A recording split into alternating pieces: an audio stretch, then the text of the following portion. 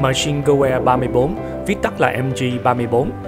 Đây là loại súng máy của Đức Quốc xã và sử dụng cỡ đạn 7,92 57 Mauser, được sản xuất từ năm 1934 đến năm 1945. Nó được làm mát bằng không khí và đưa vào biên chế trong quân đội Đức Quốc xã vào năm 1935. Trước chiến tranh thế giới lần thứ hai, súng máy là hỏa lực quan trọng của các phân đội bộ binh, nhưng thường có cấu tạo rất cồng kềnh, khả năng cơ động kém và thường phải làm mát nòng súng bằng nước. Những nỗ lực của các kỹ sư Đức về thiết kế một mẫu súng máy nhỏ gọn, làm mát bằng không khí đã tạo ra khẩu súng máy MG13. Mặc dù sau này được thay thế bởi khẩu súng máy MG34 cải tiến, nhưng thiết kế này vẫn mang tính cách mạng. Chiến thuật chiến tranh chớp nhón của bộ binh Đức phụ thuộc nhiều vào hỏa lực của khẩu MG34 và phiên bản cải tiến sau này có tên gọi là súng máy MG42 để tăng hỏa lực cấp tiểu đội, trung đội và đại đội.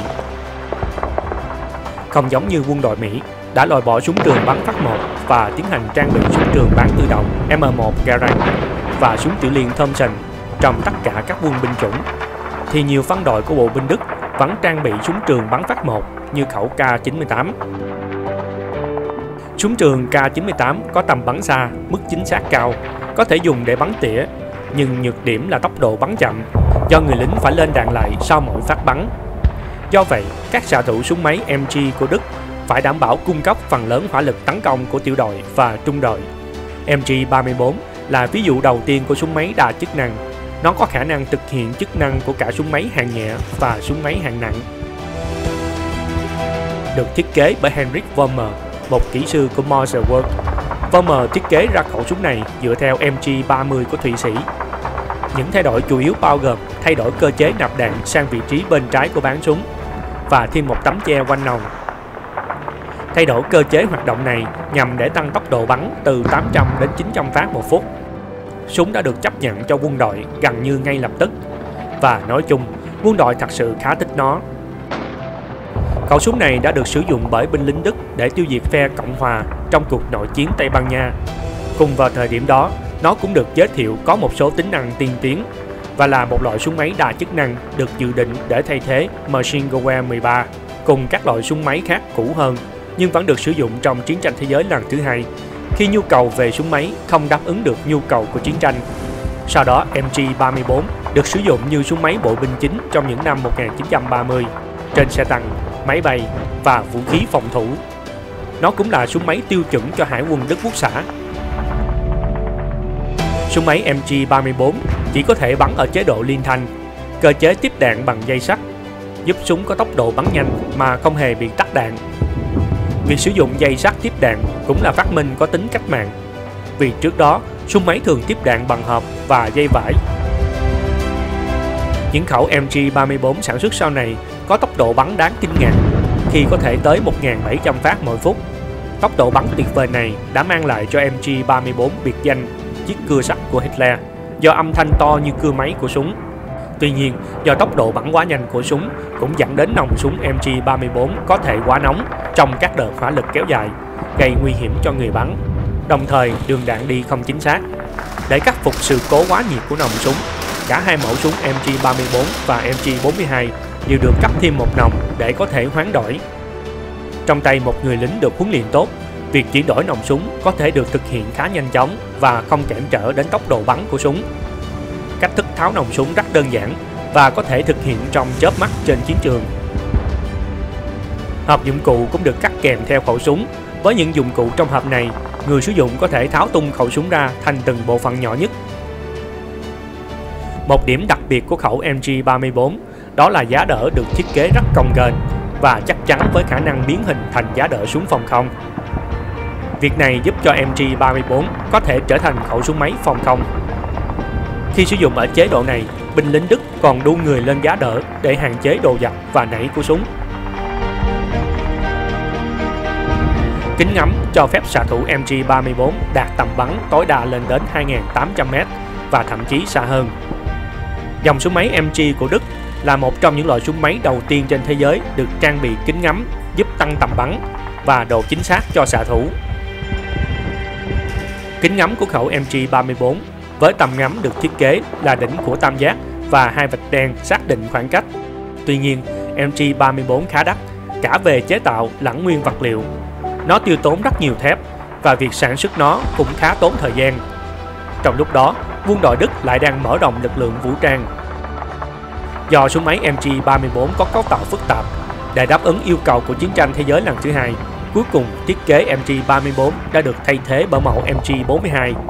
Mặc dù MG42 không mang lại nhiều cải tiến về hiệu suất, nhưng nó dựa vào vật liệu rẻ hơn và phương pháp sản xuất đơn giản hơn.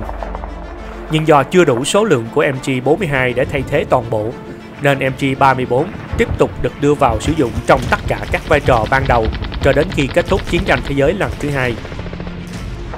Việc đơn giản hóa sản xuất cho phép một số lượng lớn súng máy MG42 được sản xuất nhiều hơn để cung cấp cho binh lính Đức và phe trục, mặc dù thiết kế MG34 vẫn tiếp tục được sản xuất. Sau khi chiến tranh thế giới lần thứ hai kết thúc, thiết kế súng máy MG34 và MG42 vẫn có tính ảnh hưởng đến tận ngày nay đến tất cả các nhà thiết kế vũ khí trên thế giới. Quân đội Đức và Ý vẫn sử dụng súng máy đa năng MG3, một phiên bản hiện đại hóa của khẩu MG42. Mặc dù MG3 đã được hiện đại hóa, nhưng nó vẫn được trang bị bộ phận ngắm thông thường, đầu ngắm và thức ngắm cổ điển, chứ không phải kính ngắm khoan học. Các nguyên lý hoạt động cơ bản không có gì thay đổi. Tuy nhiên, để phù hợp với vũ khí tiêu chuẩn của NATO, số máy MG3 sử dụng đạn 7,62-51 NATO và có thể dùng chung đạn với các loại súng máy khác cùng khối, dẫn đến thuận lợi cho công tác bảo đảm hậu cần. Súng máy MG3 vẫn là súng máy đa dụng, có thể sử dụng ở nhiều quân binh chủng, giống như người tiền nhiệm của nó. MG3 được lắp vào một số phương tiện cơ giới của Đức như một loại vũ khí trang bị cho cấp trung đội và tiểu đội bộ binh. Đó là một thiết kế không tồi đối với một thiết kế có tuổi đời gần một thế kỷ. Sau Thế chiến 2, các quốc gia đều chế tạo các mẫu súng theo thiết kế của MG34 của quân đội Đức Quốc xã. Đó là sử dụng tiếp đạn bằng đai sắt, súng có thể thay nòng nhanh. Liên Xô phát triển trung liên RPD, Mỹ phát triển mẫu M60, Bỉ với khẩu FN March. Khẩu MG34 cũng có nhiều loại phiên bản khác nhau, như MG34-41. Khẩu súng này đã đáp ứng yêu cầu trong sự khởi đầu của chiến tranh thế giới lần thứ hai khi chứng minh rằng nó có tốc độ bắn cao, khiến cho các viên đạn phân tán rộng hơn. MG34-41 có thể bắn với tốc độ 1.200 viên một phút. Trọng lượng của khẩu súng này là 14 kg, nhẹ hơn phiên bản gốc MG34 thường. Phiên bản này cũng có một số hạn chế nên đã bị đánh bại trong các cuộc thử nghiệm với khẩu MG39-41 và sau đó là MG42. Phiên bản MG34 Pencilor Hầu hết các xe tăng Đức trong chiến tranh thế giới lần thứ hai đã sử dụng MG34 Benzelor như một vũ khí phụ. MG42 không thích hợp cho các phương pháp thay đạn. Sự khác biệt chính của MG34 Benzelor và MG34 thường là nòng nặng hơn, gần như hoàn toàn không có các lỗ thông gió như MG34 cơ bản khi được gắn bên trong một chiếc xe tăng, MG34 cũng thiếu bán. Bộ phụ kiện chuyển đổi nhanh được tiến hành bên trong thùng chứa bán và chăn đế, kết hợp với lắp ráp tầm ngắm phía trước. Phiên bản MG81 MG34 cũng được sửa đổi như một khẩu súng máy gắn trên máy bay. Đối với vai trò này, khóa nòng đã được sửa đổi đôi chút để cho phép lấy đạn lên từ cả hai phía. Và trong một phiên bản, hai khẩu súng đã được gắn với nhau để tạo thành một loại vũ khí MG-81G Swilling. Khi không quân Đức bị thất bại trong cuộc chiến giành ưu thế trên công, MG-15 và MG-81 đã được sửa đổi và thích nghi cho việc sử dụng của bộ binh. Nói tóm lại, MG-34 là một loại vũ khí cực kỳ nguy hiểm với chất lượng tuyệt vời và độ tin cậy cao. Xứng đáng là một trong những khẩu súng huyền thoại trong lịch sử quân sự thế giới